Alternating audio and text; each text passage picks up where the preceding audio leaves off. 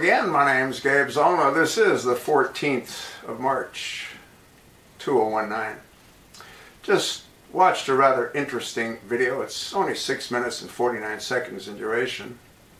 It was put up by Now This Is News, posted on the 14th of September, 2017. It's been around a long time.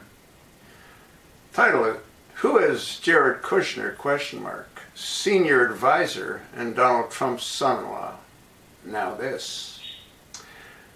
What's written is how did Jared Kushner become the president's right-hand man? Short answer, a lot of money. Justin Long, Dodgeball Idiocracy, explains the full story of the Kushner's family influence. Helped Jared go from Harvard University to running the Observer to advising the Trump administration on foreign policy. Who is Jared Kushner? He started out a simple rich boy of a New Jersey real estate developer, Charles Kushner, who was the son of immigrants. He was also one of the top Democratic Party donors in the country.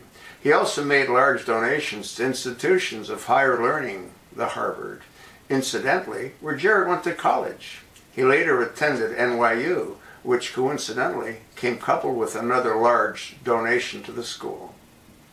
His father was later sent to prison and Jared took over the empire. The Kushner Company sold 1.8 billion in real estate before the housing collapse.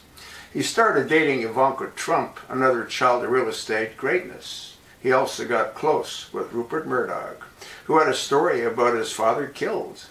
Hmm.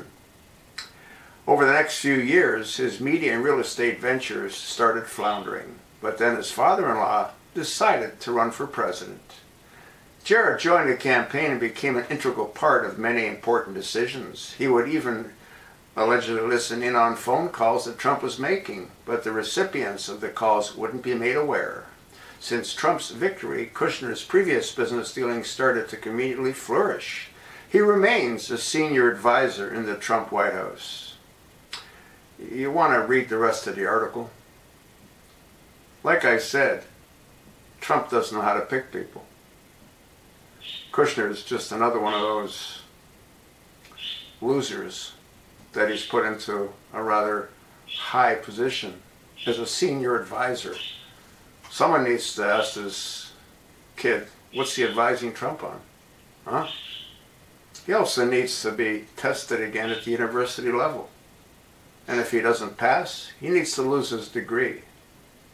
That's sort of what I think. He's not alone a lot of these rich kids that ended up in powerful positions, like Kushner, probably never graduated based on their academic level of ability. What a joke. The whole thing is just a complete joke. Trump's going to go down in history as one of the biggest clowns this country's ever had in the Oval Office. He's not going to run in 2020. I don't even think he'll make it to 2020 as president. Do you? I'll attach the link. Take a look at it. Pass it along to like-minded friends. Repost it in all your social media accounts. You might want to send a copy to Jared. Tell him to start studying for his exams. Thanks for listening.